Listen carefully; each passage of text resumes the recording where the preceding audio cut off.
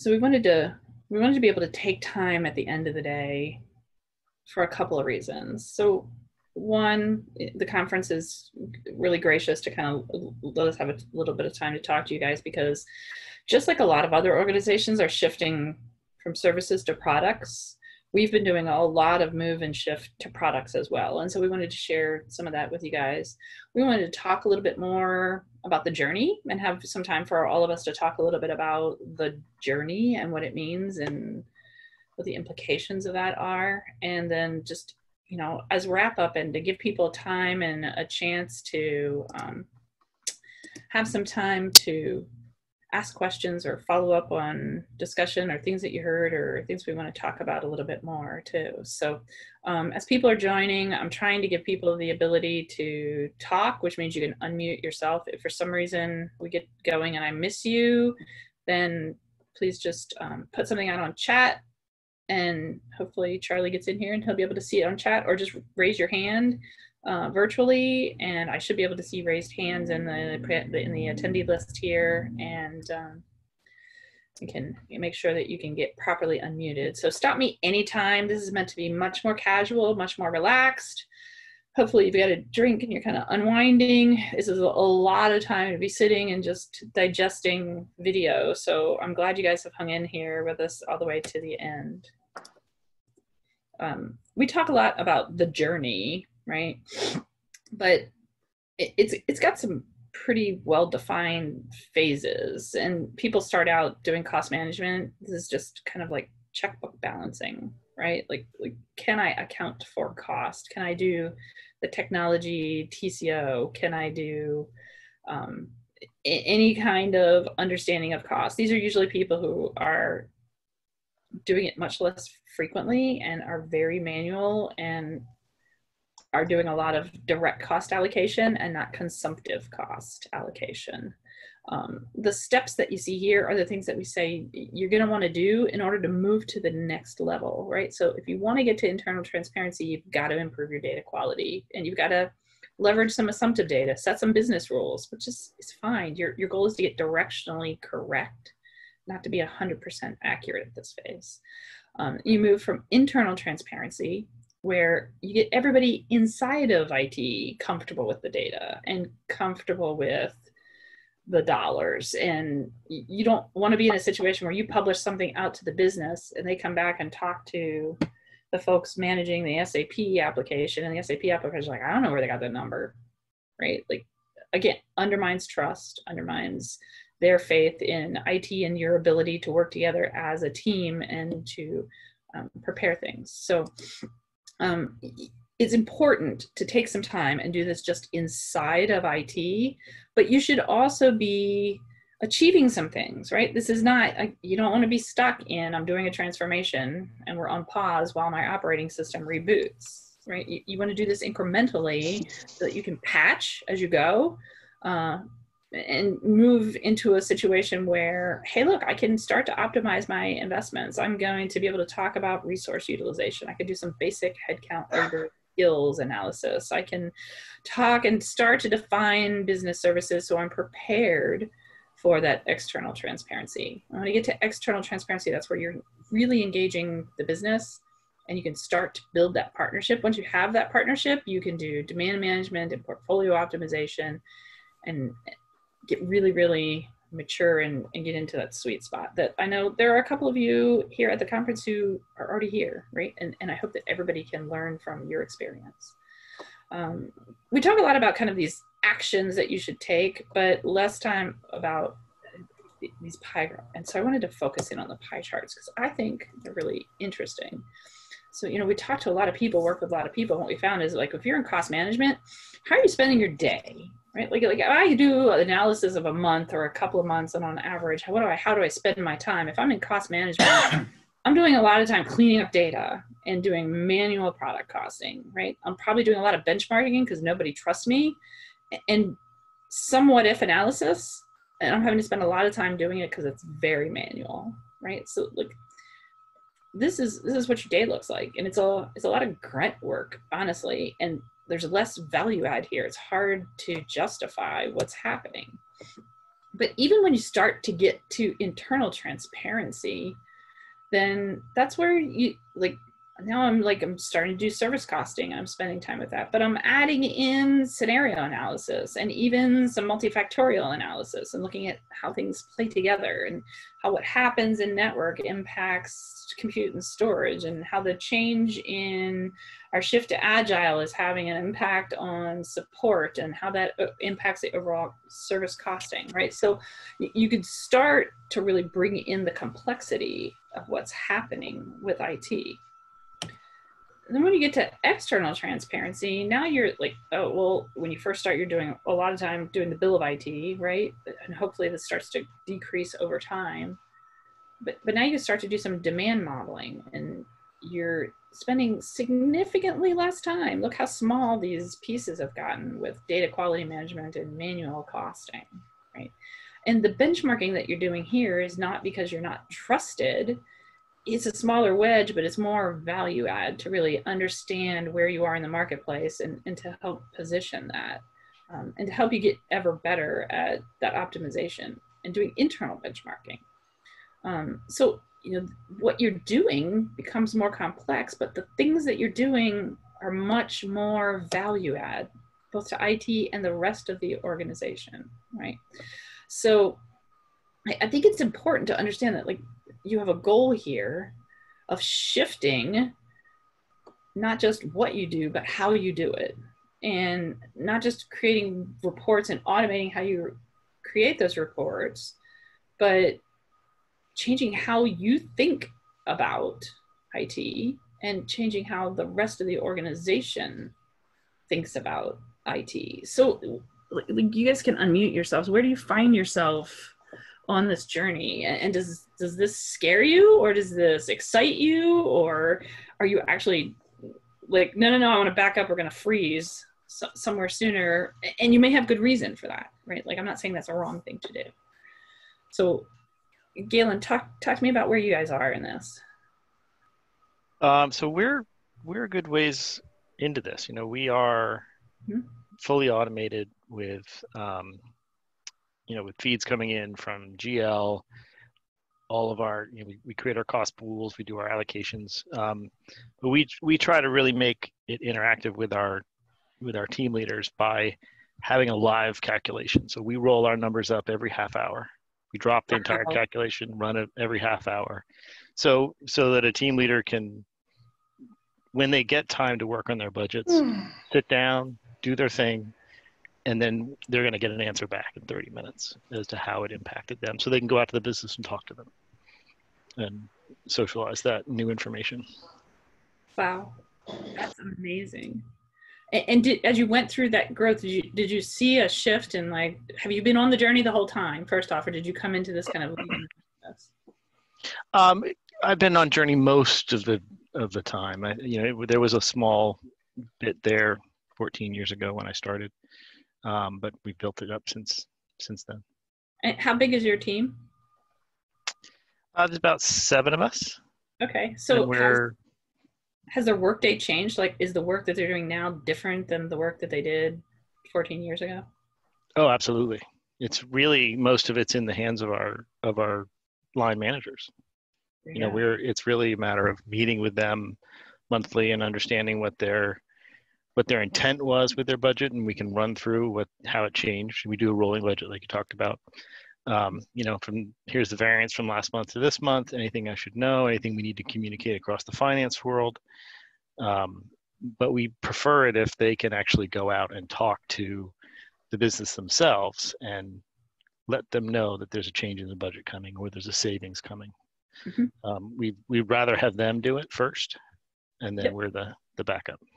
So, so I'm going to ask you the question. We get this a lot when we're talking with people, and they're like, "Well, you know, if we if we start to automate this and do it rolling, and people, you know, all the cost center owners or all the line owners are all doing their own budgets and stuff, then like they're going to want to lay off my people. So you still have seven people, right? So like, if the line owners are doing all this stuff, like, what are your seven people doing?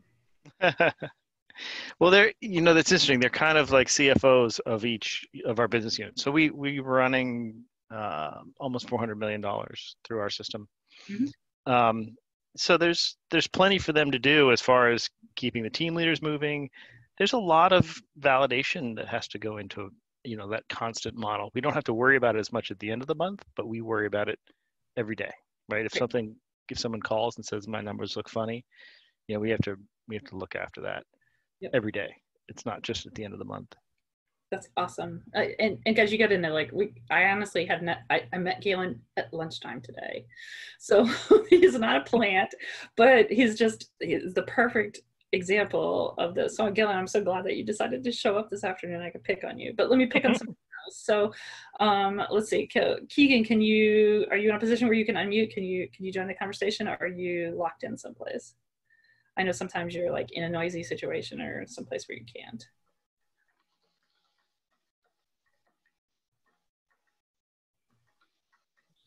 Or maybe Rodney. Rodney, how about you? Where where are you guys in this journey? Where do you find yourselves? Which which stage? If I go all the way back to the picture here, where where would you classify you guys in this in this journey?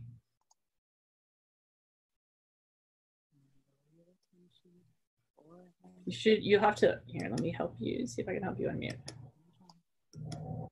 I can't. You have to unmute yourself.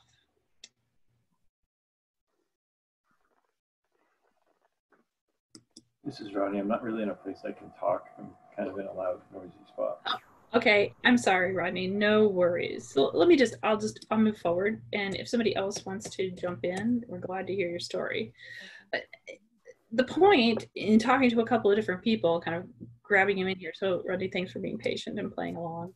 Um, is that the journey is not the same for everybody, right? You have to understand and define what is your ideal state your ideal state may not be the same as somebody else's. And your ideal state reflects more the business and the organization. And so you have to have this conversation. You have to set a target.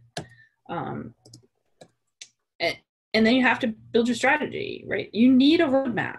So th- there's a little poll. Um, if you guys are split screened and over on the platform and happen to post it, there's a poll out there about roadmaps.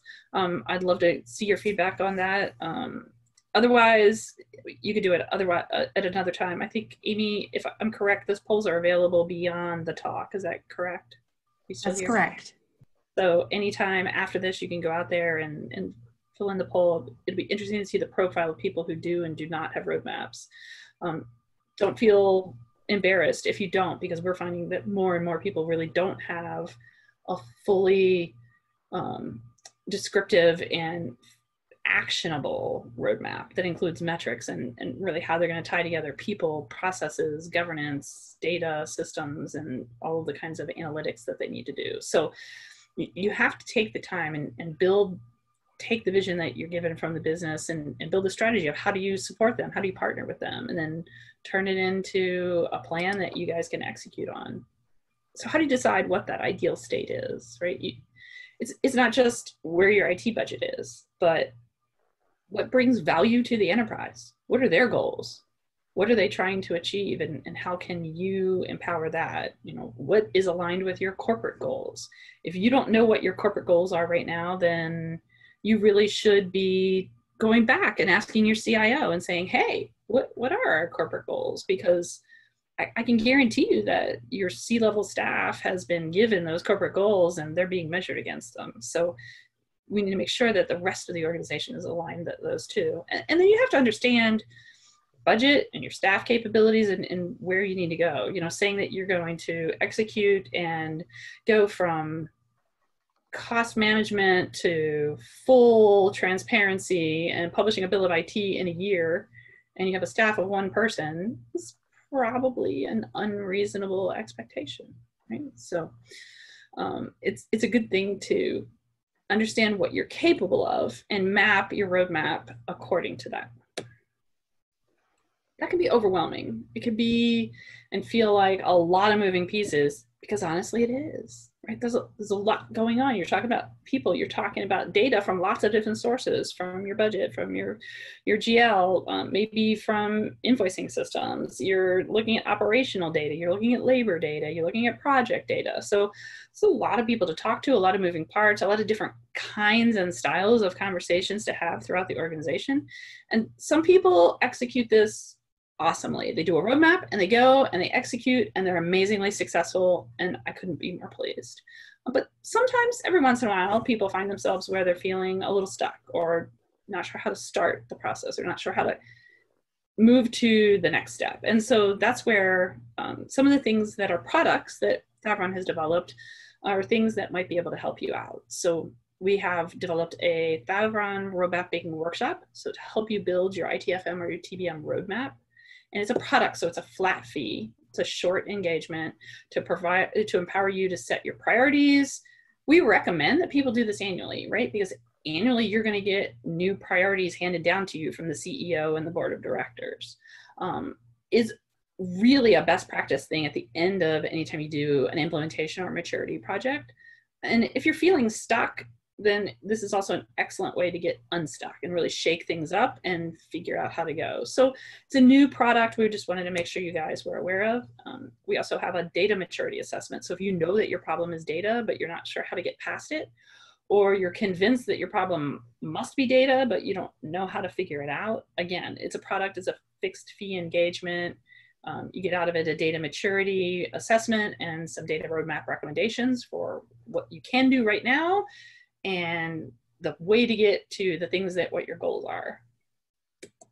Um, if what you're doing isn't strictly road mapping or data, but you have other changes and things coming and you just want to make sure that you're not missing something because you can't know what you don't know. Um, we do have advisory packages that you can lever leverage. Um, they're buckets of hours. Um, they can be flexible. You can solve them to a project or a situation. We have some people that we do advisory to that we set up monthly meetings. And it's a status check and a question and answer session and guidance on how to make a business decision based off of what we're seeing in the industry and what, what best practice is. Um, in some cases, we're actively part of a team, and in other cases, we're kind of a silent partner. Uh, we have meetings with the IT finance director and manager. We make them look really smart, and they go off and run the business the rest of the business doesn't even know we exist. So we're, we're willing to work in whichever way your style and makes the most sense for your organization. Um, these are super easy on ramp. They're packaged, our, our team managed to package this in ways that the starting level for this is like you can put it on a P card. So that's a good thing. Um, but one of the products that I'm most proud of is um, our post-implementation support. So this is a, a, fixed fee subscription again. You, you know what you're spending, you know what you're getting, um, and there are three different levels that you can subscribe to to scale it to your needs. And it helps you to continue your growth and ensure that you're getting value. So you can see that uh, we do a run, grow, or transform depending on what's happening in your operation. And our goal is not to sell big packages, right? For most people, they're going to come in kind of at a grow every once in a while we get somebody who comes in at a transform but maybe you're fresh off in an implementation you're going to come in and to grow. Our, our goal is to get you to run right? Our goal is to get you and your team educated and self-sufficient and just to be that background trusted advisor and and to help you go through things. And so that includes the roadmap product. Um, it also includes every budget cycle. So if going through what your cadence is, doing the review of services and your reports, and looking for opportunities for growth and change.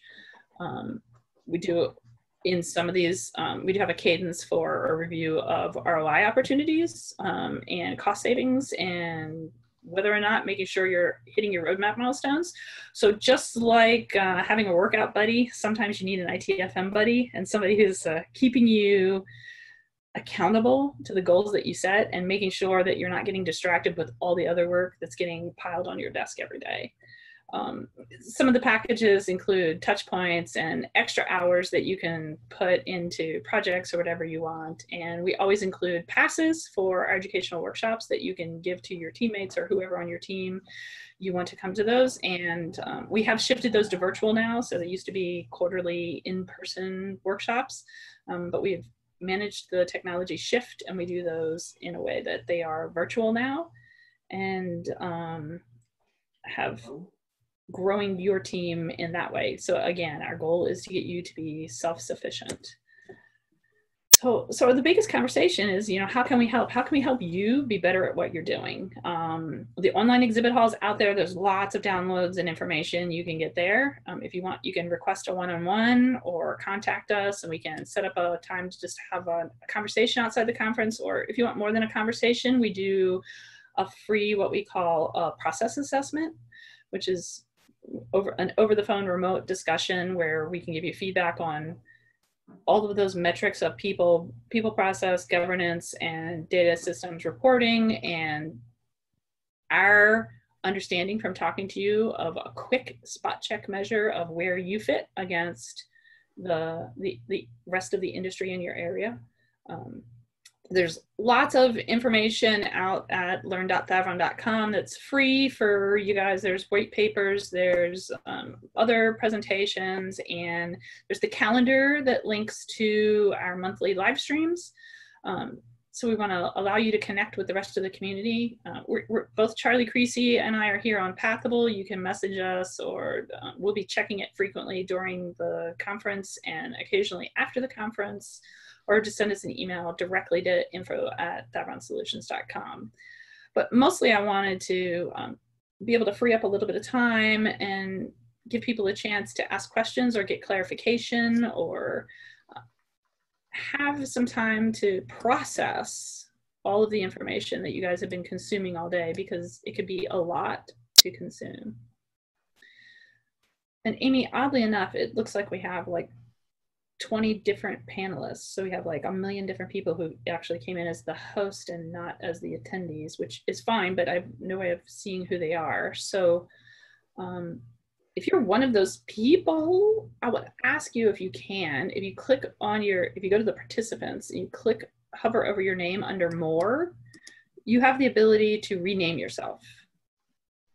And you can at least put your name in there so it doesn't look like we have 15 copies of host, co-host.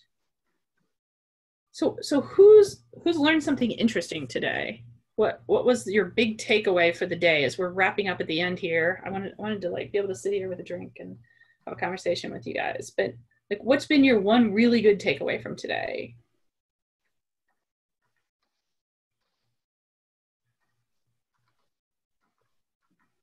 I see Ruben there. Ruben, can we put you on the spot? Hi, everybody. Uh, Hey, we're, we're all in as hosts because somebody sent us the link on the, one of the chats. So we all, to, because we couldn't get into the. Perfect. session. So that's why everybody did the same link. So we're all hosts. that's okay. But look, now I can see you. I didn't know this was here, so this is great, guys.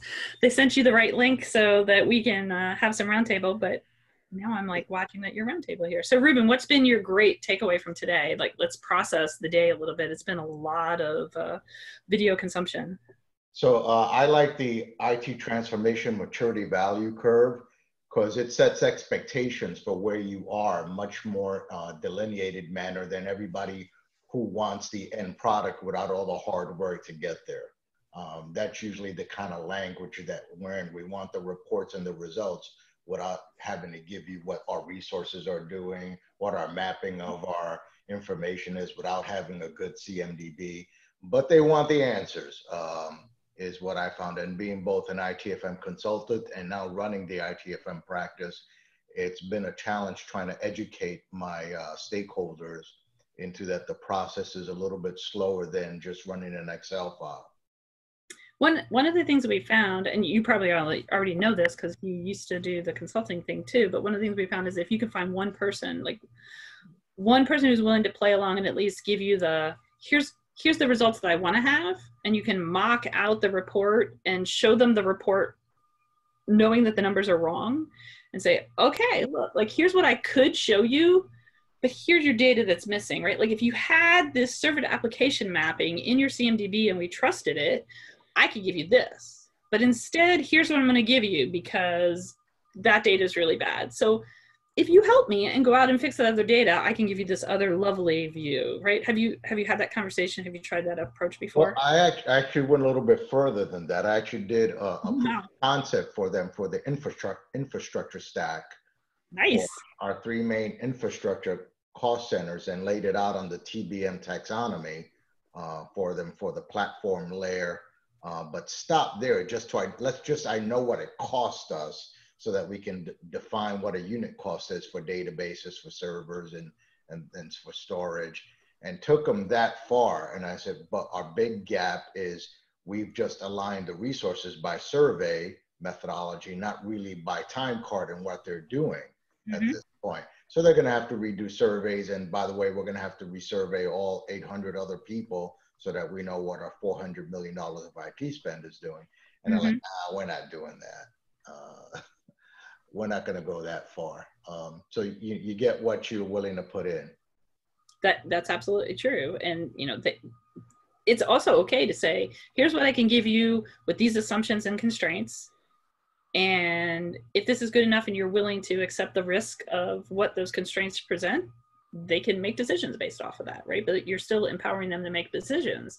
And if they say, oh, no, no, right, like I need it to be more accurate, I need it to be within 5%, not within 15, then it's up to them to go back and make the changes to empower that. So great job. And it is a long process, right? You need a couple of wins for other people to get on board, no doubt. Yeah. I mean, when they started seeing the actual dollars and costs and where they're spending their money and, and, and so mm-hmm. it was really eye opening for them at that point for our, our service leaders and our, and our old CIO.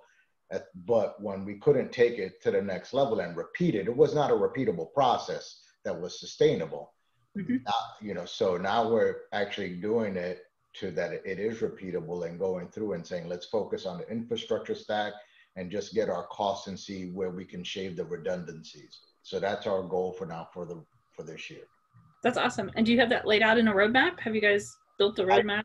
I, I actually did a roadmap, level, not to the le- level of granularity that you showed, but I did a higher level roadmap and involving our lease management team and all our, our uh, infrastructure managers to actually get to the point where the information is usable.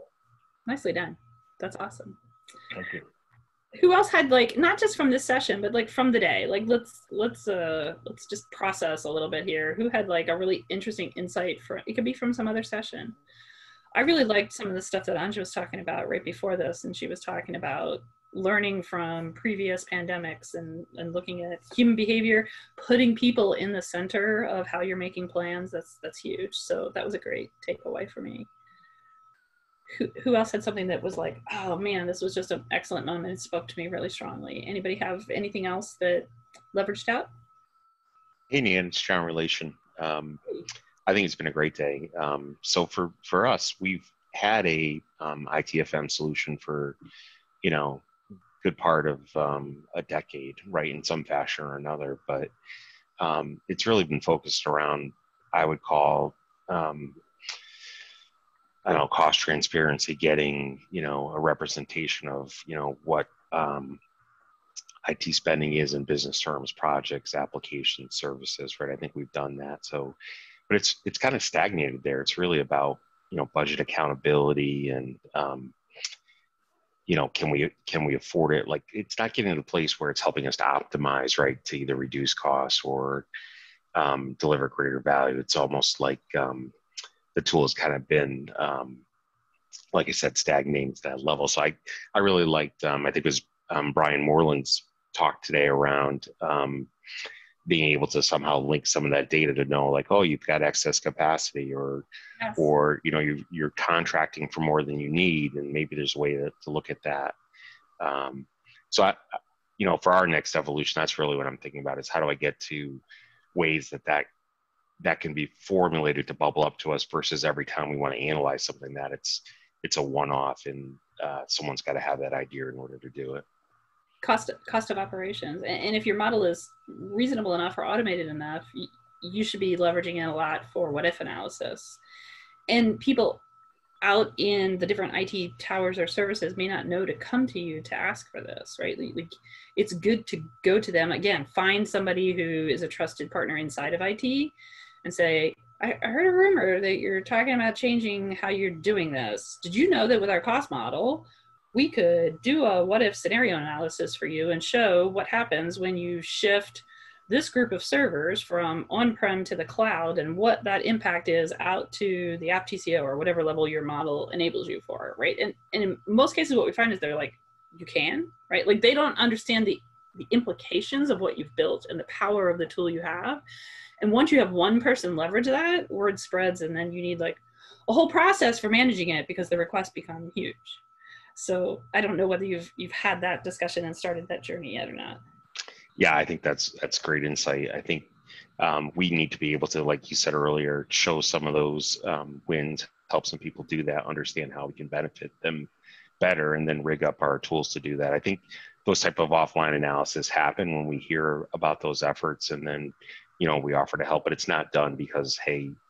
Um, you know the data is right here and it bubbled up and, and there's a way we can quickly see there's an opportunity here.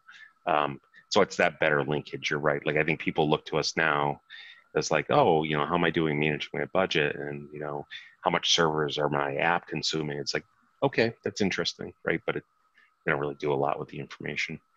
Yeah well it, you're at the fun part of the journey so i'm going to be really interested to follow along and see how your journey goes for the next 12 to 18 months because you start getting everybody else getting outside of it finance and spreading through the rest of the organization it gets exciting. That's where people do some really game changing work. Mm. thank you. Fun times. Did anybody else i know we're like we're, we're near it late i don't know whether we're going to get shut down amy or not but if anybody else has like something that really really sang to them, something that made them stop and pause, something that was really good today? Y'all just exhausted. I know I'm tired. Well, I will I will wrap. There is conversations out on Pathable, right? So if there is something that occurs to you and you're like, oh man, did anybody else go to the session? This was really great. Let's talk about it. You have that ability out on the platform. Um, if for some reason the work that you're doing this year um, seems like something that you want a little outside advisory on, or you want some help putting your roadmap together, please feel free to reach out to us or go check out the information out at the exhibitors section, and we'll be glad to empower you and make sure that you're successful as you go through the rest of your changes this year. Great job, Nan. Thank you all for hanging in there and, and reach out to Nan via the exhibitor page or directly under people and continue the conversation with her as we kick off tomorrow morning for day two of Elevate. Thank you all. Have a great night, guys. I look forward to seeing you tomorrow. Thanks, Amy. Thanks, Nan.